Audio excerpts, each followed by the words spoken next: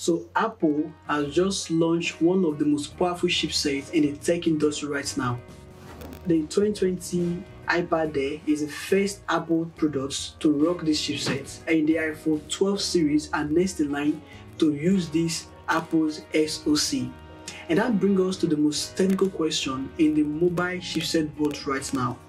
The Apple A14 Bionic chipset versus Qualcomm Snapdragon 865 Plus, which is the best?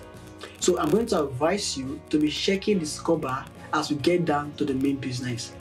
First, the Apple A14 Bionic chipset is the world first uh, 5 nanometer chipset, which is 2 uh, nanometer smaller than the Snapdragon 85 Plus.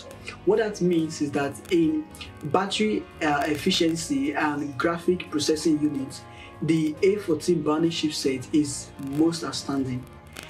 However, in terms of artificial intelligence and machine learning, the Snapdragon 865 Plus can deliver 16 trillion AI operation per second, while the Apple A14 Bionic chipset can deliver AI uh, operation in 11 trillion per second, thanks to the Snapdragon 895 DSP, Hexagon 895 DSP found in the 85 Plus. So when it comes to artificial intelligence and machine learning, it goes to uh, Snapdragon 85 Plus. In the area of CPU, Qualcomm Snapdragon 85 Plus brings the fastest processing unit seen in any Android smartphone. It clocks 3.1 GHz frequency for the first time in any mobile device with an octa-core processor. And on the other hand, the Apple A14 Bionic chipset has an hexa-core processor, two cores less than the 8 found in the Snapdragon 85 Plus. So here is the plot twist. In performance, the Apple A14 Bionic chip surpasses the Snapdragon 865 Plus, both in single-core test and multi-core test. Hence, the A14 Bionic chipset wins this segment. When it comes to GPU, the Adreno 650 brings an elite gaming experience as it supports up to 144 Hz display refresh rate. And also, it draws 35% less power from its predecessor. However, that does not change Apple's standing. Apple designed its own GPU and comes with 4 cores.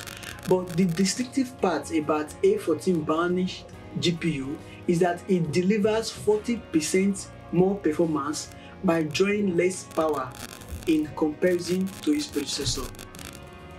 Apple A13 Bionic chip and lastly, for the first time, Apple chipset is supporting 5G network connectivity.